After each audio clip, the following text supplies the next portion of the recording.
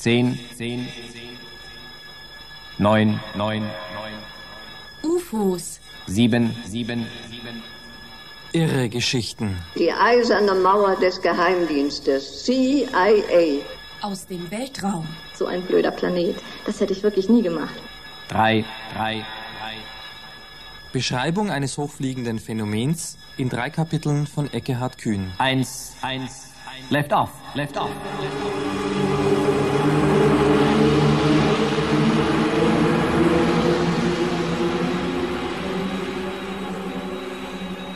Liebe Freunde, im Namen der Galaktischen Union aller mit Intelligenzen bewohnten Planeten darf ich Sie einladen zu einer fantastischen Reise. Da ist zum Beispiel auch eine außerirdische Frau hier. Diese Außerirdischen kommen aus einer höheren Dimension. Sie kommen genauer gesagt aus der fünften Dimension. Erstes Kapitel auf der Startrampe. UFOs sind überall. Workshop und Kongresstourismus. Eine Reportage nicht ganz von dieser Welt. Wir sind uns in, in der geistigen Entwicklung 30 Millionen Jahre voraus und technisch dreieinhalbtausend Jahre. Und Wollen wir es nicht glauben? Sperren wir uns? Und wenn es sie nun doch gibt, so nette Menschen erzählen davon, alle doof, haben wir vielleicht Schiss? Oder flunkern wir ein bisschen, ein bisschen viel? Stellen Wissenschaftler die falschen Fragen an die Natur? Oder geben Ufologen die falschen Antworten? Und wenn nun beide Mist machen, Oder wenn Sie den, den Prophet Immanuel alias Jesus Christus nehmen, da gibt es heute schon einige Bücher, die das bestätigen, was wir vor wozu ist der Journalist da? Zum Fragen und zum Zuhören, auch wenn es weh tut. Wir haben im vergangenen Oktober in Frankfurt eine UFO-Konferenz gemacht und wir hatten Tag für Tag 45 Reporter. Es erschienen auch überall Artikel, aber diese Artikel waren eher blöde, banale Schmierereien, die also von den Fakten, die da auf den Tisch gelegt wurden, unheimlich wenig enthielten. Tief einatmen, dreimal. Wir hören einen Workshop in München. Im Augenblick sind wir noch unterwegs im All. Mental. Auf einmal geht eine Schiebetür auf und vor uns steht ein Mann von strahlender Schönheit, groß, schulterlange Haare, in einem Overall gekleidet und hebt die rechte Hand zur Begrüßung.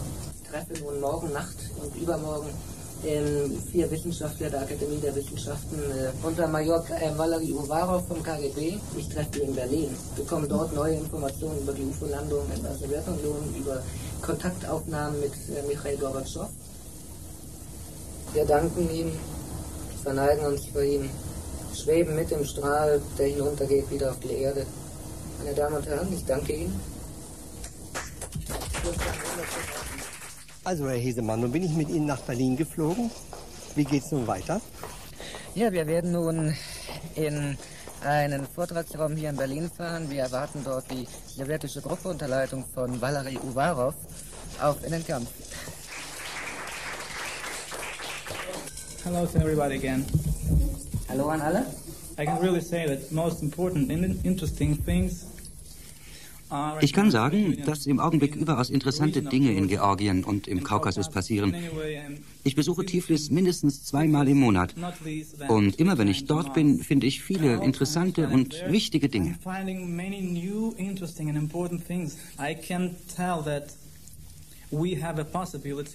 Wir haben die volle Kontrolle über alles, aber Sie wissen ja, wir haben zu wenig Ausrüstung für alles. Unser Komitee in Tiflis ist nicht sehr groß. Committee in Tiflis. It's not so big one. Valerie? Valerie, welche Berufe haben die anderen Mitglieder in Ihrem Komitee? Well, not so long ago. of course, Vor gar nicht langer Zeit hatten wir alle eigene Berufe. Ich war Musiker. I have been musicians. Talis worked in his laboratory. Thales arbeitete im Labor. Aber wir haben beschlossen, nur noch in eine Richtung zu gehen. Tried to go on the one way. First, they began to work with the young people. Sie haben mit jungen Leuten angefangen. Einmal wurden welche zu einem Raumschiff gebracht. Diese Raumschiffe erschienen mitten zwischen den Gebäuden in der Stadt. Es ist schwer zu erklären, aber nur diese jungen Leute haben die Raumschiffe gesehen. Sie wurden dann hinaufgebeamt, also hochgesaugt. Wir sammeln alle diese Informationen und vieles mehr. Valerie, you are talking about investigations. Valerie, Sie sprachen von Untersuchungen. Was heißt das? Zum Beispiel haben Sie mir erzählt, Sie hätten Gegenstände gefunden in einem Zimmer. Haben Sie das Material untersuchen lassen?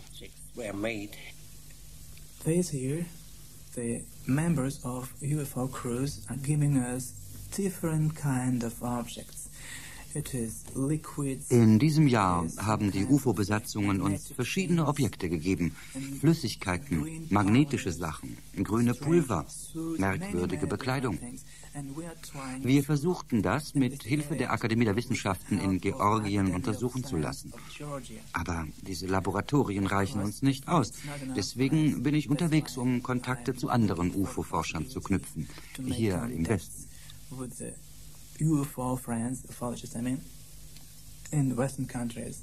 Yesterday, I have been talking with the contactors in Leningrad.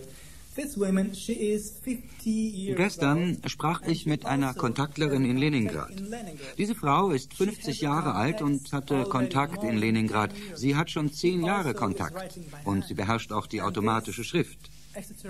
Eine extraterrestrische Person näherte sich ihr und sie haben sogar geheiratet. In der Kirche.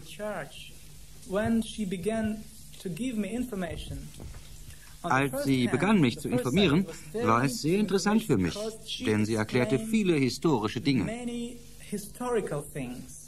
She explained the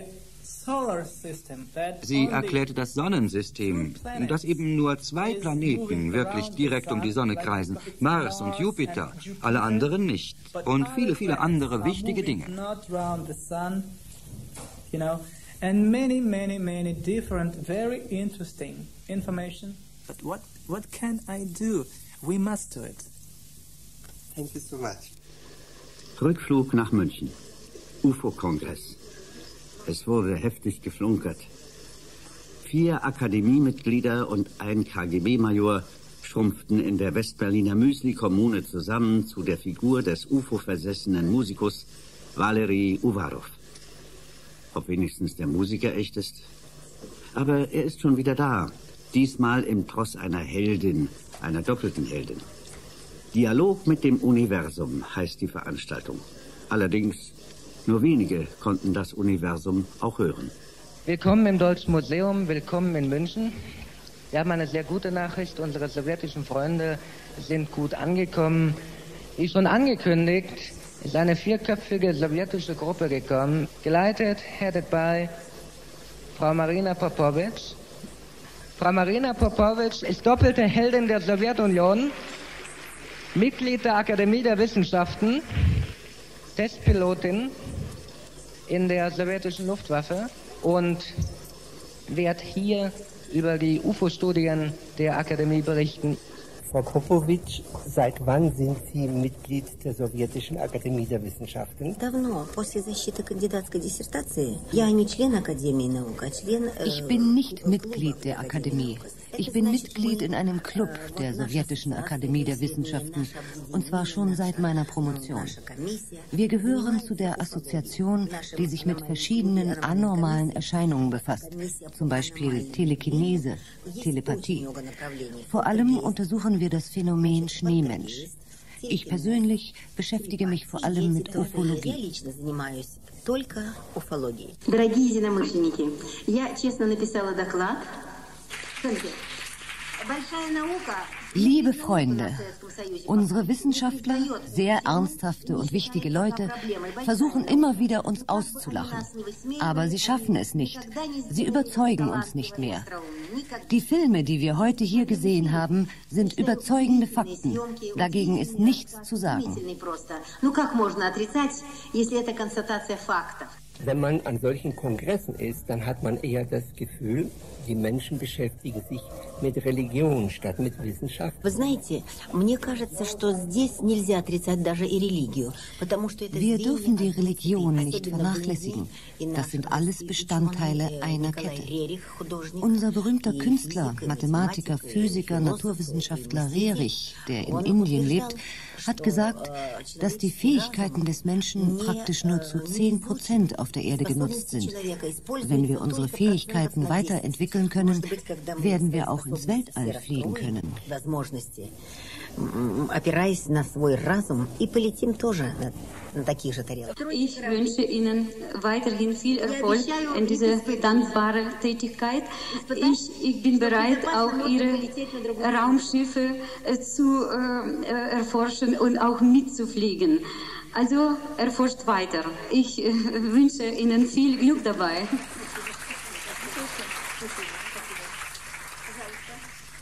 Kein Glück mit sowjetischen Ufologen. Die Akademie der Marina Popovic, ein Fanclub für Schneemenschen und Außerirdische. Leider hat es geregnet, leider war der Film schlecht, Nebel, leider war es Nacht. So tönte die Begleitmusik zu den Filmvorführungen im Deutschen Museum. UFOs sind schwer zu fotografieren.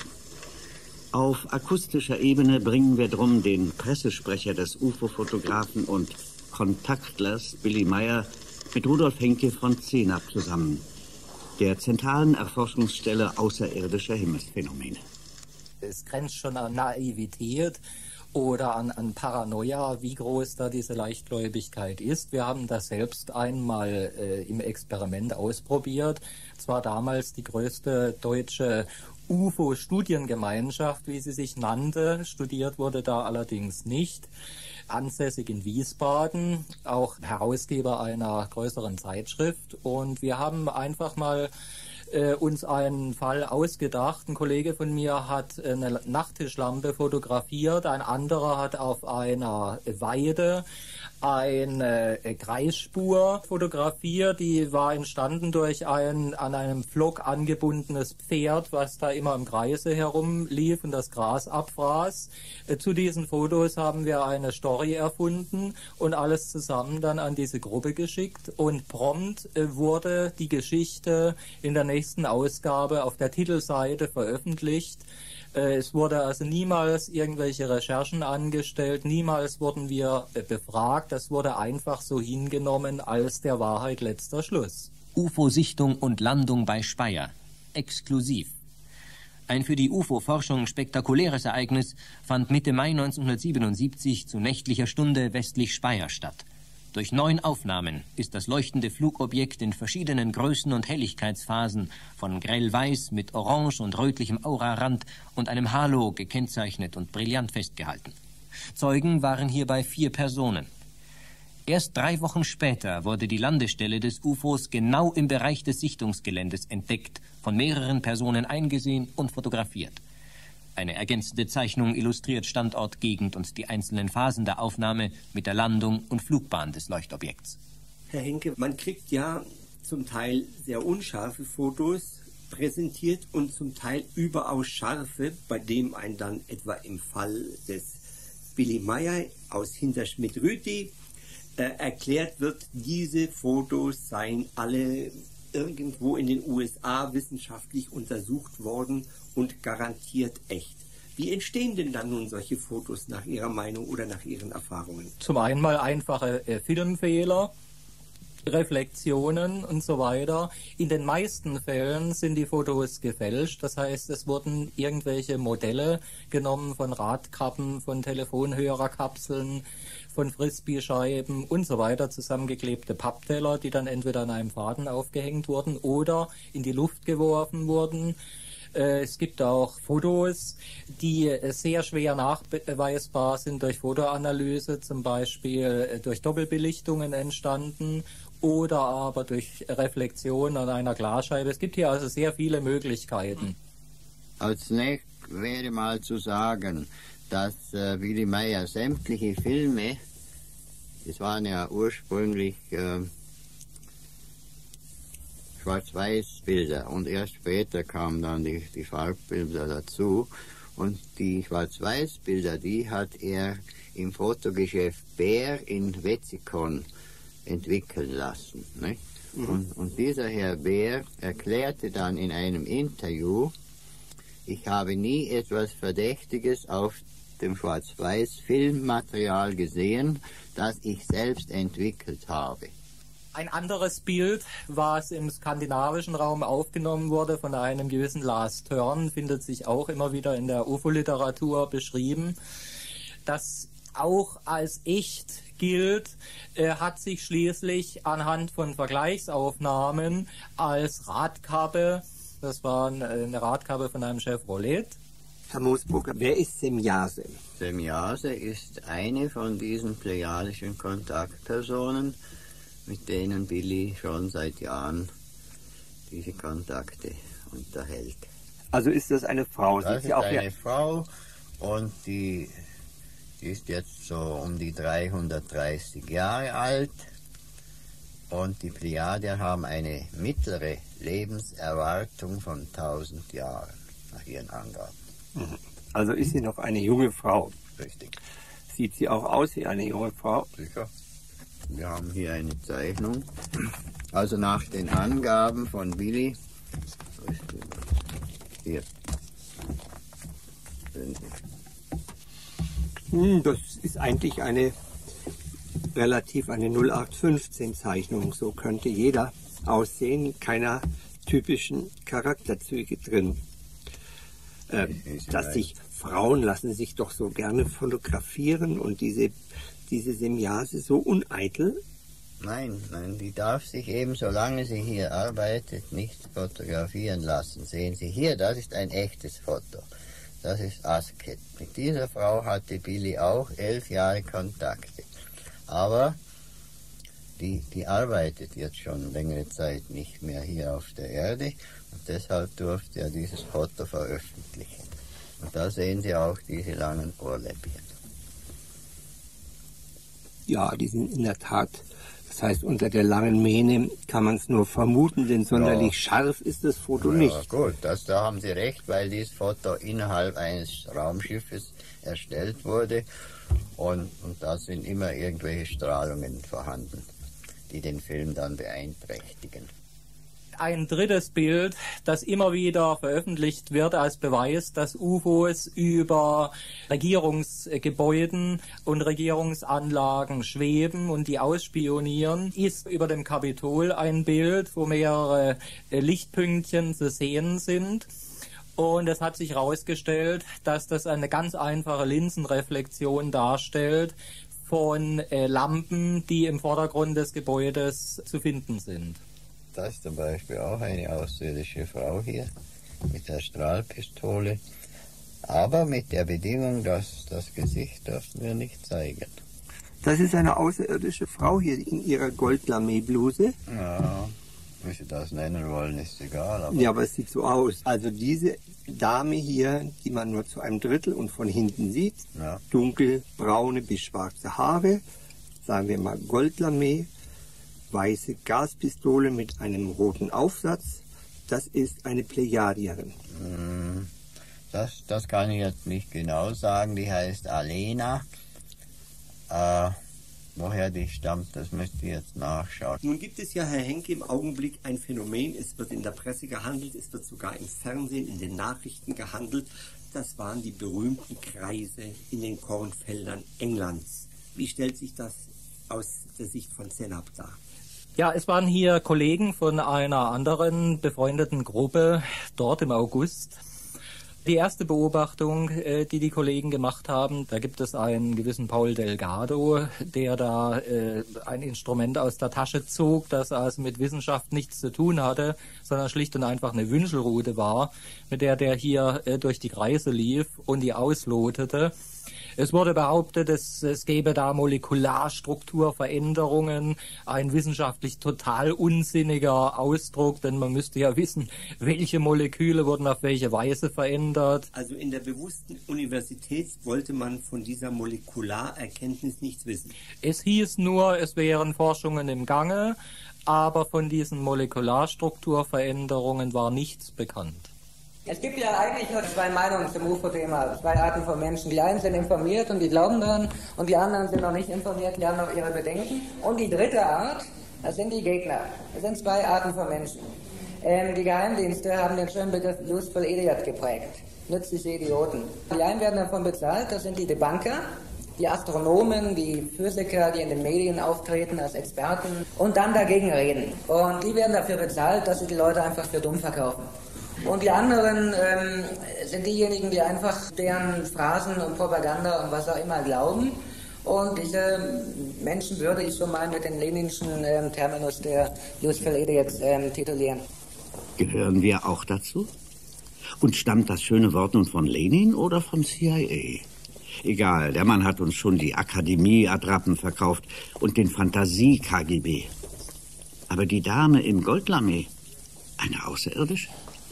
Haben auch die Plejadier Figurprobleme? Also gut, die könnte echt sein. Aber die Raketenstation der Schweizer Armee oberhalb des Landeplatzes in Hinterschmidt-Rütti, warum sehen die nichts? Schwingt die militärische Elektronik vielleicht in der falschen Dimension? Sieht Elektronik nicht alles? Sieht der Glaube mehr? Ist es überhaupt so neu, was wir glauben sollen? Oder sind es alte Geschichten ein bisschen umfrisiert? Ernten die Ufologen in fremden Gärten, in der Bibel, bei den New Age-Propheten? Die Türen werden um halb neun geschlossen, damit wir hier im Raumschiff keine kosmischen Dämpfer einatmen brauchen. Die Schleusen von unserem Raumschiff werden geschlossen. Zweites Kapitel in der Umlaufbahn. Treibsätze für höhere Dimensionen. Fast ein Hörspiel. Liebe Freunde, im Namen der Galaktischen Union, aller mit Intelligenzen bewohnten Planeten, darf ich Sie einladen zu einer fantastischen Reise. Das Ziel unserer heutigen Reise ist der Planetoid A12 in der Nähe der Saturnbahn, der als planetare Urlaubsinsel für terrestrische und galaktische Intelligenzen hervorragend Dürfen wir Ihnen noch etwas servieren? Raumsekt, galaktische Milch? UFO-Menschen und Skeptiker auf einem Ferienflug.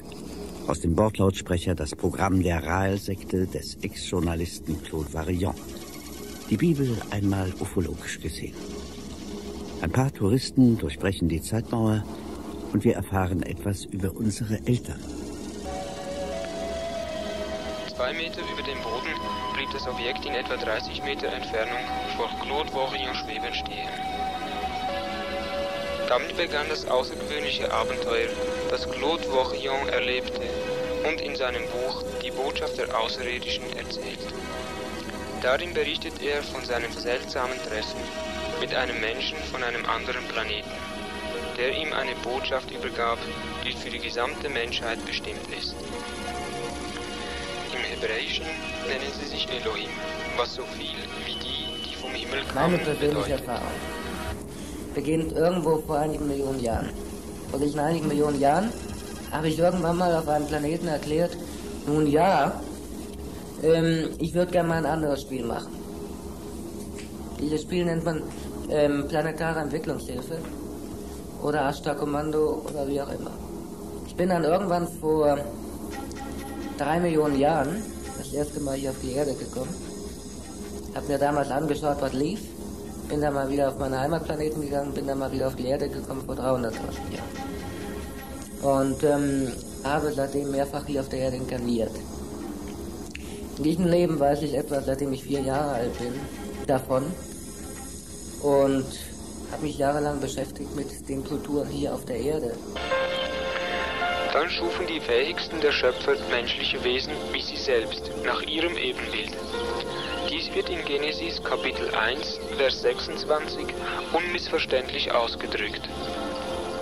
Lasset uns den Menschen machen, nach unserem Abbild, uns gleich. Der Planet, von dem sie kamen, erregte sich aber, weil sie künstliche Kinder schufen, die zudem noch zu ihnen kommen und eine Panik hervorrufen könnten.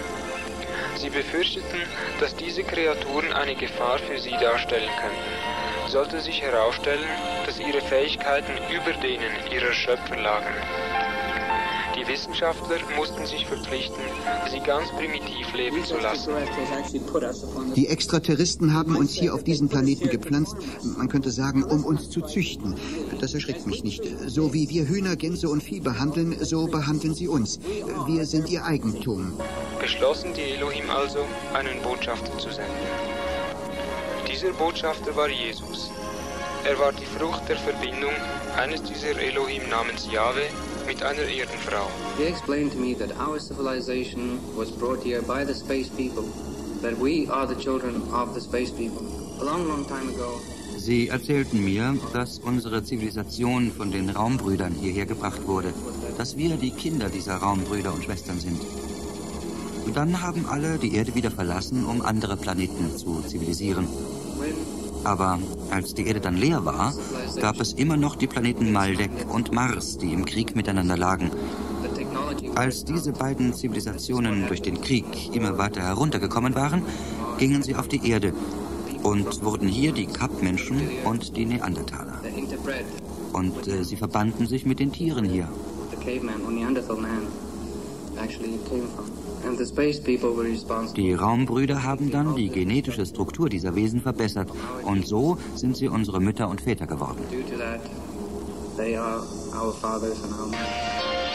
Tausende von Menschen haben bereits diese Offenbarung verstanden und arbeiten unentgeltlich für die Verbreitung dieser frohen Botschaft und bereiten auf diese Weise die Rückkehr unserer Schöpfer, der Elohim, vor.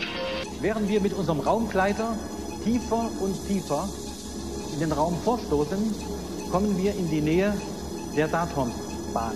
Nach dem Verlassen des Mondes in der Leere des Raums wird auch der galaktisch bewusste Mensch auf sich selbst zurückgeworfen. Die eigenen Anfänge. War man nicht schon immer bestimmt für den Weltraum? War diese Überzeugung nicht die Quelle aller interstellaren Wahrnehmungen? Wieso Wahrnehmungen? Alles voller Zauber, spottet der Mitreisende von Zehn ab. Angenehmen Flug. Okay, hier stehe ich heute und gar nicht anders und schlage meine Thesen an irgendwelche intergalaktischen äh, Türen und versuche eben relativ viele Leute. Da ist mir etwas eingefallen, was ich äh, auf Rhodos erlebt habe, bei einem, bei einem Eremit. Damals war ich 17 Jahre alt. Dieser Eremit hat mir schon damals etwas er, er, äh, erzählt über UFOs, dass er jeden zweiten oder dritten Monat, wenn ein gewisses äh, Sternensystem sich äh, so hinlegt, verreist in den Kosmos durch, durch, äh, durch die Planeten. From my young, young years, I was interested. Seit meiner frühen Kindheit war ich an UFOs interessiert. Ich kann Ihnen sagen, einer meiner ersten Träume, an die ich mich erinnere, ging über Raumschiffe, UFO-Zusammenstöße. Er hatte damals die Möglichkeit, sich in der vierten Dimension zu versetzen. Und hat mir damals erzählt, weißt du, es gibt unheimlich viele Planeten, bewohnte, mit schönen Leuten wie wir, hässliche, furchtbar intelligente, und die haben Maschinen, hat er mir erzählt. Die Maschinen sind so schnell wie der Blitz. I was interested from, the, my, ch- from my childhood and I tried to draw pictures about space stations, something like Ich war seit der Kindheit interessiert. Ich habe Bilder gemalt über Raumstationen und so. Aber gerade im letzten Jahr war plötzlich eine Kraft, die mir sagte, ich muss jetzt diesen Weg gehen. to go this way. Und er hat mir viele Sachen erzählt. Ich soll mal keinen Kummer machen. Ich bin irgendwie unter eine kosmische Glocke geschützt. Es war im, im Sommer 1988, nach dem Bewusstsein 88 Kongress. Und ich hatte gehört, dass man sich unter den Sternenhimmel stellen soll und diese Energie der Sterne aufnehmen. Und da habe ich mich eines Abends, eines Nachts entschlossen, habe mich auf meinen Balkon gesetzt und habe ganz lange auf die Sterne geguckt, habe diese Energie aufgenommen. Das UFO-Phänomen ist, und das ist ganz, ganz wichtig zu betonen, ein Wahrnehmungsphänomen. UFOs sind primär Wahrnehmungen. Wir haben es mit Berichten über Wahrnehmungen. Ich habe viel Liebe zu den Sternenbrüdern geschickt und dann hatten sie mir irgendwie eine Freude gemacht und zischten über meinen Balkon. So eine riesige Kugel. Irgendwie. Ja, Lichtkugel. Nun, in etwa Ja, äh, über 60 Prozent der Fälle sind technische irdische Phänomene Auslöser von UFO-Meldungen. Äh, das ist in erster Linie ein Phänomen, äh, das wenig bekannt ist, nämlich ein Miniatur-Heißluftballon, auch Party-Heißluftballon genannt, der auf der Gartenpartys und Silvesterfeiern so weiter steigen gelassen wird. Dann natürlich auch Flugzeuge, Hubschrauber und so weiter. 1983. Ich, wir fuhren wieder von Wiesbaden mit der Bahn zum Flughafen und da sah ich eine runde, große blinkende Kugel, silbern. Und guck dahin und guck wieder hin und da ist das, die silberne Kugel weg, aber dafür ein Stern. An zweiter Position kommen astronomische Phänomene. In erster Linie Meteoriten, aber auch helle Planeten wie etwa Venus und äh, Jupiter.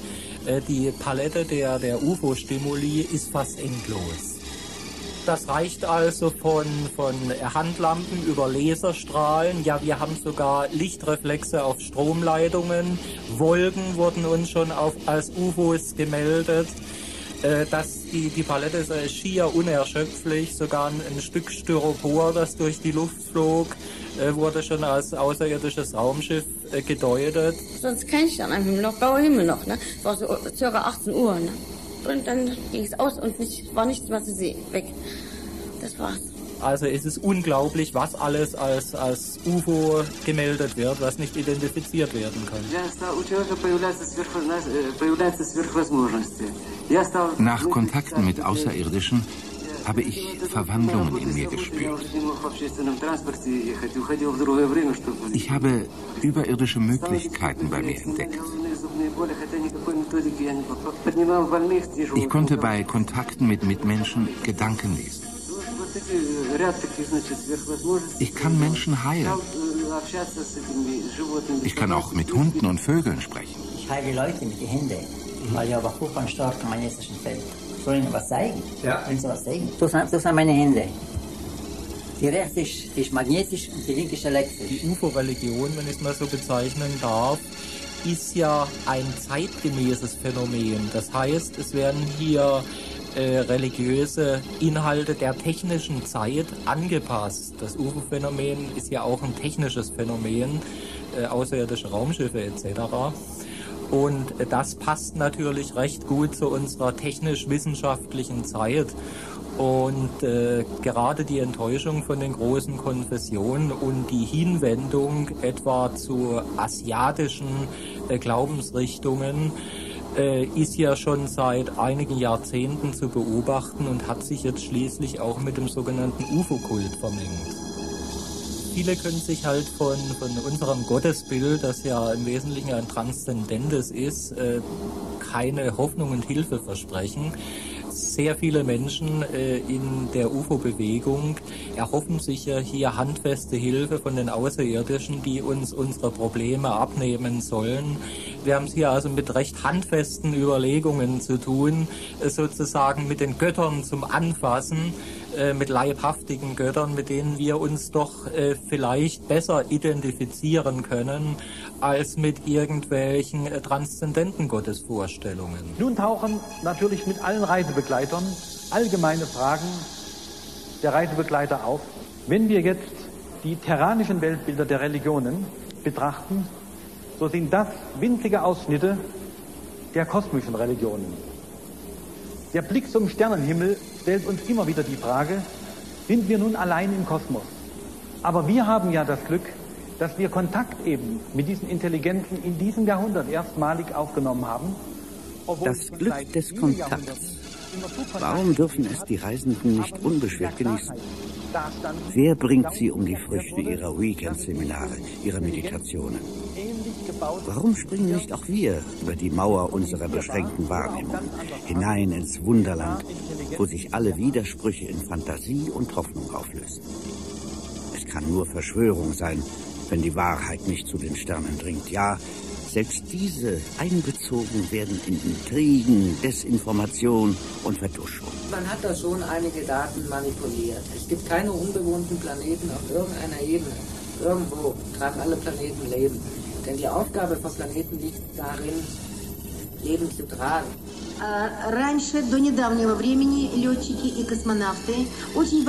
Unsere Kosmonauten haben sich gefürchtet, das, was sie im All erlebt haben, zu erzählen. Die Ärzte hätten sie für verrückt erklärt. Warum? Weil damals, wie die amerikanischen Astronauten auf den Mond flogen, haben Amateurfunker den Funk verfolgt, den Bordfunk. Und Amateurfunker haben auf Band aufgenommen, die Bänder wurden leider später beschlagnahmt. Hier ist das Gespräch, das sogar in äh, den UFO-Nachrichten veröffentlicht wurde, doch von der NASA für alle Massenmedien gesperrt wurde. Äh, die Kontrolle hörte ein Geräusch im Raumschiff und fragte, was zum Teufel ist los bei euch? Armstrong sagte, Himmel, Sie werden es nicht glauben. Diese kleinen Dinger sind ja riesig, die sind enorm. Was ist los mit euch? Was ist das? Wir sind alle da, alle drei. Aber eben haben wir einen Besuch gesehen. Sie waren schon eine Weile hier, um unsere Fährte zu betrachten. Meine Hände zittern, ich kann nicht mehr. Was ist mit den UFOs? Die sind am hinteren Kraterrand abgestellt und beobachten uns. hier hört das Gespräch auf. Aber haben Sie das irgendwo in Deutschland in einer großen Zeitung gelesen? Nirgends, nur in den UFO-Nachrichten. Im Jahr, Jahre 1976 hat Jimmy Carter, der amerikanische Präsident, erklärt, ich habe ein UFO beobachtet. Von dem Moment an, wo ich dieses Erlebnis gehabt habe, kann mir niemand mehr erklären, ähm, die Menschen, die UFOs sehen würden, wären Spinner. During the Eisenhower-Truman administration, Während der Eisenhower- und Truman-Administration hatten beide Präsidenten Besuch von Außerirdischen, von guten Außerirdischen. Es wurde ihnen Zusammenarbeit angeboten, aber beide lehnten ab. Jetzt wissen wir, dass sich die USA mit bösen Extraterroristen verbündet haben. Es gibt eben darum eine gewaltige Politik der Geheimhaltung. Was wäre, wenn? Die Frage, was wäre, wenn wirklich die Menschen erfahren würden, offiziell erfahren würden, Außerirdische sind hier. Wer hört dann noch auf den alten Herrn in Rom, der den Apothekern verbieten will, dass sie Kondome verkaufen? Wer hört dann noch auf den Präsidenten der Vereinigten Staaten? Wer kauft dann noch sein Öl für 1,35 Mark, wenn es zum Beispiel auch Dinge im Angebot gibt, Technologien, die vielleicht viel einfacher ähm, vonstatten gehen? thank God for us, both Reagan and Gorbachev this time did listen to the good ETs or the ultra consciousness. Gott sei Dank haben sich später Gorbatschow und Reagan für die guten Außerirdischen entschieden. Und die sagten ihnen dann, ihr müsst aufpassen, zwischen euch und der Sonne kommt ein Planet auf euch zu, der nichts Gutes im Schilde führt. Es gibt drei Namen für diesen Planeten. Wurmholz, Liburno, aber auch Marduk. Das also, was unsere Astronomen nicht sehen, das sind diese neuronalen Netzwerke solarer und intragalaktischer Dimensionen, deren Wirkungsweise in Reinkarnationsreisen erlebt werden können. Wir können jedenfalls feststellen, dass wir die unmittelbare persönliche Erfahrung machen können, unsere psychischen Innenwelten in unmittelbare Erfahrung mit den kosmischen großen Dimensionen. Kosmische Dimensionen in der psychischen Innenwelt. Wie denn? Tragen wir die UFOs vielleicht in uns? Jeder sein eigenes? Sollen wir flüchten oder uns erlösen lassen?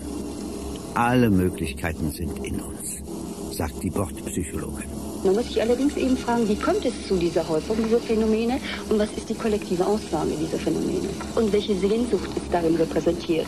Also meine persönliche Meinung ist die, dass es durchaus diese Objekte geben kann, an denen wir dann, sagen wir mal, mythische Bilder festmachen. Das heißt also, dieses Objekt stark äh, mit mythologischen Projektionen belegen und damit eine ganz andere Wertigkeit bekommt. Also Jenseitsfantasien oder Erlösungsfantasien oder auch Gottesbilder jetzt in, in so einer Art religiösen Erfahrung. Also das könnte sein. Ich kann es nicht überprüfen. Es kann auch durchaus nicht sein, dass also zum Beispiel auf etwas, was sozusagen eine Projektion stattfindet, obwohl kein Objekt da ist. Es stehen generell im Erdorbit einige Millionen Schiffe zur Verfügung, generell in der Milchstraße 30 Millionen Stück. Das bedeutet, man kann eine ganze Menge Menschen evakuieren. In die großen Mutter- oder Trägerschiffe ähm, passen noch viel mehr. Nach den Prophezeiungen, die bestehen, wird etwa ein Drittel der Erdenmenschen evakuiert werden wollen. Viele Christenkonservative werden sagen, Satan, Versuchung, da oben fängt die Hölle an, Gott bewahre. Ja? Oder andere werden sagen, ich habe ein Leben lang Briefmarken gesammelt. Ich darf die Briefmarken nicht mitnehmen. Die Haustiere dürfen mitgenommen werden. Oskar ist ja in Kontakt mit verschiedenen Außerirdischen regelmäßig und er schrieb mir am 6.6.1990 habe sich ein Außerirdischer namens Quentin in holographischer Form, also dreidimensional, in sein Wohnzimmer projiziert. Uff, habe ich gedacht. Ich hätte den Schock meines Lebens gekriegt, aber Oskar ist sowas schon gewöhnt. Und dieser Quentin hat ihm eine Botschaft gegeben. Die Botschaft lautet, dass das Vereinigte Deutschland nicht nur auf wirtschaftlichem und auf politischem Gebiet in Europa führend sein wird, sondern dass es eine spirituelle Renaissance erleben wird, wie wir es jetzt noch überhaupt nicht für möglich halten werden. Das vereinte Deutschland wird der Weltlehrer für moralische, seelische und spirituelle Dinge werden. Dies ist seine Botschaft. Wir müssen daran denken, dass die UFOs eine spirituelle Kraft sind, die wir selber geschaffen haben. Auch die Kornfelder sind eine spirituelle Botschaft. Die Außerirdischen werden von uns selbst geschaffen. Es gibt nichts in der Welt über uns, das wir nicht selbst geschaffen hätten. Wir steigen wieder ein in unseren Raumgleiter, machen einen Quantensprung an Zeit und landen wieder wohlbehalten auf unserem Witzen